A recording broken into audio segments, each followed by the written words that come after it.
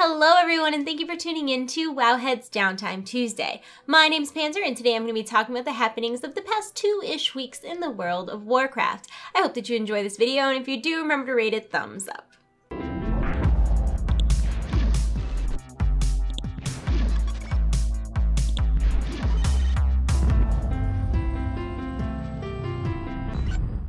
Shameless self-promotion time. Last week I did not make a Downtime Tuesday because instead I did a video that highlighted all of the pop culture references that I've found so far in the Legion Alpha. If you would like to watch it, I will have it linked red Mia and also in the info below. And yeah, that's it.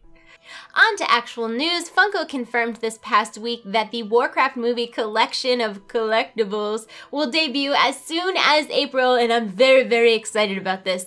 The Pop and Dorbz collections will feature at least five characters, including Lothar, King Llane, Durotan, Orgrim, and Garona. There will also be 12 possible pulls from the Mystery Mini series, including two armor variants for Garona and Lothar, King Llane, Lady Taria, Durotan, Orgrim, Blackhand, Gul'dan, Medivh, and Khadgar.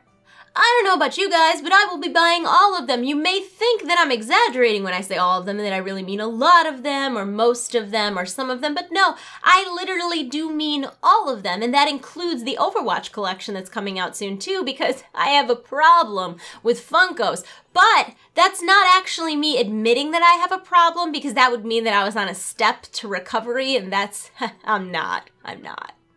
On to actual video game types Stuff Lady Liandrin is the new Paladin hero variant in Hearthstone that you can earn for free by playing World of Warcraft. Players who level a character up to level 20 will earn Lady Liandrin to use in place of Uther if they so choose. Now this does not work retroactively, you actually have to ding 20 organically so you can't use like a boost or a Death Knight or anything like that. But if you already have a World of Warcraft account, you do not have to start at level 1. So if you have an alt sitting around at like 16 or 18 or 19. You can just level them up the rest of the way to 20 to ding. You can use heirlooms, you can do all that kind of stuff, and it will also work with starter accounts if you don't actually play World of Warcraft and you want to do it for free, even though I'm confused as to why you're watching my videos, but I'm not judging. I'm not judging. And onto things that people actually care about. There have been a few Legion Alpha builds since we last spoke, including one that added the new Legion world map. Check it out.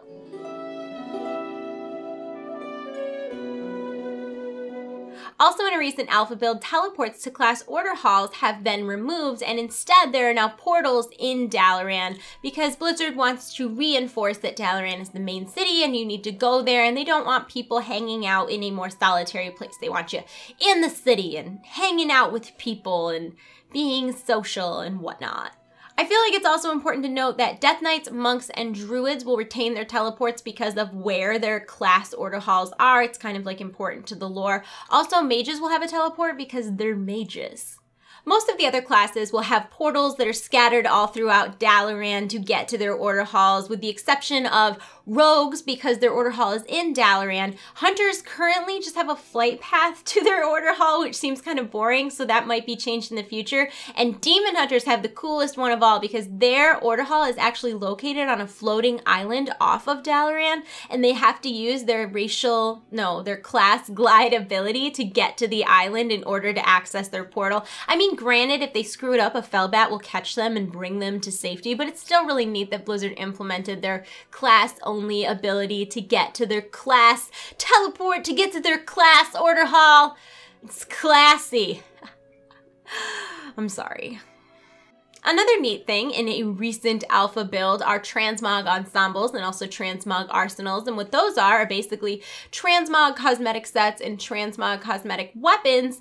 And the majority of them are Warlords of Draenor PvP sets and PvP weapons since those will be kind of unobtainable in the next expansion. But what was interesting is also mixed in there was Wars, Wars, but Scarlet Crusade ensembles for both mail and plate wearers. Now this is particularly exciting because a lot of mail gear is being converted to plate gear in Legion, and people like me who play shamans or hunters are kind of upset that transmog that they maybe paid a lot of money for, worked really hard to grind out, might not be available to them anymore. But with something like ensembles, maybe Blizzard could not totally make us really angry. Thanks, Blizzard. Thanks. Pirates Day has gotten some updates on the Legion Alpha, and I'm pretty excited about these. The first new item is PD, which is an on-use item that makes a little bird perch on your shoulder, which is amazing. Then there's also the Emergency Pirate Outfit, which is an on-use item that's a costume that makes you look like a pirate. And the best one is the Slightly Chewed Insult Book, which is a toy that makes you shout pirate insults at nearby players, which is amazing. And as someone who raids, quite frequently. I'm gonna need that. It's important and I need it. Another quick thing that I wanted to mention is that right now on the Legion Alpha, fist weaving is enabled for mist weavers in Legion PvP, and I know a lot of people were really excited about that, and also as of right now, all heroic dungeons are open and available for testing. Before we move on from Legion Alpha stuff, I do want to talk a little bit about Blizzard responding to feedback about hunters because I personally love it when I hear about Blizzard directly taking player feedback and applying it to changes, whether they're done now or in the future. But they actually announced last week that they're going to be using some player feedback to make changes. Basically, the huge feedback was that because marksmanship hunters did not have a pet, it was sort of losing the iconic hunter fantasy of, of having a pet. So a couple changes that they're going to be making are that marksman hunters will have a talent that will allow them to use a pet or not use a pet and it'll be their choice and it'll be a competitive talent. So they're making that an option. They're also changing it so that beast mastery hunters will have a talent that will allow them to have more focus on one pet as opposed to like herds of animals working and doing their bidding. And again, that will be a competitive talent so that they can can, you know, choose what they want to choose. And the third thing is that they're also making a glyph so that Hati, which is the um, pet that is summoned with the Beast Mastery artifact, will take the form of the pet of your choice, which I think is really cool. Moving on to alpha things that are not Legion alpha things. Instead, the Battle.net voice chat service is now in alpha. Now, I am not in the alpha, so I cannot give you any personal experience, but it sounds pretty cool. You will be able to set up your Battle.net friends list into different channels, and up to 99 people can join a voice channel. I, I almost screwed that word up, but I saved it at the last minute. And what's cool about it is that it spans all of the Blizzard games, and you can talk cross games, so it's really like a replacement to Skype or Discord or whatever you may be using right now, potentially. I know that some people that are really excited for this are Heroes of the Storm players as well as World of Warcraft PvPers because they're open to, they're really like vulnerable to internet attacks by using Skype for things like Arena, so it's nice that they'll have something in game. I know that a few years ago, World of Warcraft tried to implement a voice service and it was a total flop and everybody hated it and it didn't go over very well. But uh, I am obviously in the Overwatch beta, and the voice system in Overwatch is fantastic. I've used it quite a few times, and if the Battle.net chat system is going to be anything like the Overwatch chat system, I could see it being very successful. So I'm excited to try it out. Maybe someday I'll get into the testing phase of it so that I can test it, but it's okay if I don't. Let me know in the comments if you're in the testing phase and if you've tried it out and how it goes and what you think you know, its rating of success is going to be. I don't know. Words are hard for me right now. I think it's going to be cool. Going to be cool. Of course, I have to mention the Warcraft movie trailers and TV spots that came out this weekend. I cannot post them in this video because Legendary will flag my video for copyright. And after the Jack Swagger WWE copyright incident last week, I just can't take that risk. But I will have all of them linked in the info below. There was a new one minute trailer, then there was a TV spot that was released, and then there was also a 30 second like teaser trailer during, I think, a Halo tournament. I don't know, something to do with shooting games. What do I I know. But they were all kind of similar but different. We saw a lot more of Khadgar. We saw dwarves, which was very exciting. We saw some magical things happening. So all in all, you guys know I'm very excited for the movie, although I'm a little concerned about the marketing. I don't love the poster they put out. I think it's a really odd choice to put King Llane on the Horde side and Garona's like huge and her Photoshop is really odd. Like I don't know why she's not green because she's green in the movie. I also think that in the trailer that has dubstep, why does it have dubstep. That's very confusing to me, but I'm not a marketer. So what do I know? I'm just, I just like World of Warcraft. I'm still gonna go see the movie. Uh, Duncan Jones, who is the director of World of Warcraft, no, he's the director of Warcraft, the movie. I'm like, losing it a little bit today. Uh, Duncan Jones had nothing to do with the marketing, so I don't want to judge the movie based on the marketing. Plus, you guys know I toured the set and nearly fainted every two seconds because it was so amazing. So, oh, speaking of which, this is a good time. Transition, transition. I, uh, I think that I am allowed to release the audio interviews that I did when I was on the set of the Warcraft movie. So I will be working on those this week. I'm not sure that I'll have any to release this week, but I should have a bunch to release next week. I have interviews with Toby Kebbell, who played Durotan, with Ben Schnetzer, who played uh, Khadgar. I have interviews with Ruth Negga, who plays Lady Taria. I have interviews with uh, Clancy Brown, who plays Blackhand. Um, a bunch, a bunch. Oh, uh, Oh God, I just had his name and then it escaped me.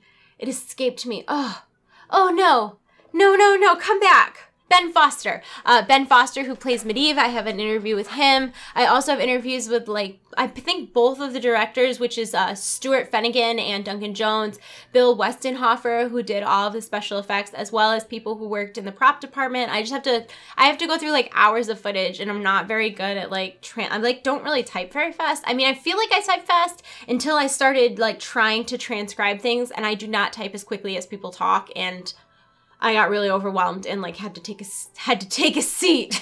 so I will be working on those and I'm gonna get those out. Um, I do kind of like want to apologize ahead of time because I know the audio quality is not fantastic on them. I wish it was better, but we were on a hot set. Things were being moved around. At one point, a crane we had to move because a crane was like trying to drive through where we were. So it's like I know there's a lot of wind and background noise, but I feel like releasing the audio is better than releasing nothing. And I'll also be releasing like Tumblr, I guess. I'll probably use Tumblr because I don't know what else I would use.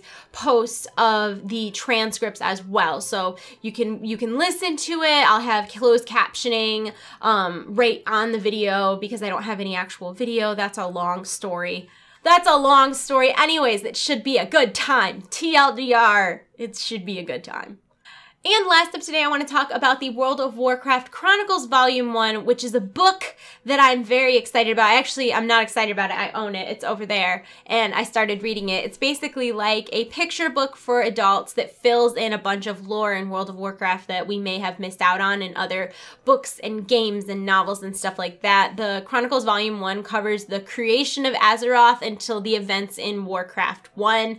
Uh, so we're seeing a lot of art and a lot of things that we've never seen before. There's maps and cosmology charts and all sorts of stuff like that. It's currently, I want to say, around $24 on Amazon, which is on sale if you want to order it for yourself. But Wowhead is also giving away several copies. So if you would like to enter Wowhead's giveaway, I will have a link in the info below. And that actually leads me to today's question of the day, which is actually the question you would have to answer in order to enter Wowhead's giveaway, but not here. If you want to enter Wowhead's giveaway, click the link in the info below. If you just want to participate in the comment section of my video, you can still do that. And my question for you is, what are you most excited about to read in the Warcraft Chronicles, whether it be volume one or a future volume? I was personally excited to read more about the old gods and the titans and like the creation is all very interesting to me. I also always love reading about the dragon aspect aspects.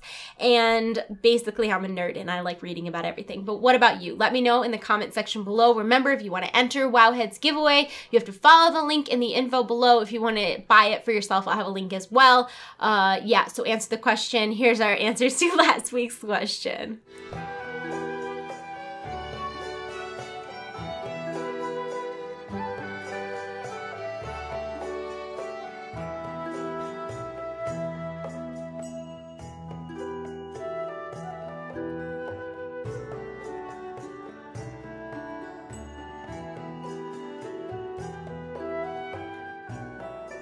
And that is it for this week's Downtime Tuesday. I hope that you enjoyed the video, and if you did, make sure that you thumb it up, answer our question in the comment section below, and subscribe to my YouTube channel if you have not already. As always, everything I talked about today is linked in the description of this video. Be sure to check back next Tuesday and every Tuesday for future episodes of Downtime Tuesday, because Tuesday, and also to see if your comment is in our featured section. I'm gonna go. I hope you're having a wonderful day. I love you all. You're in my hearts. I'll see you soon. Goodbye. Goodbye. Goodbye. Ah!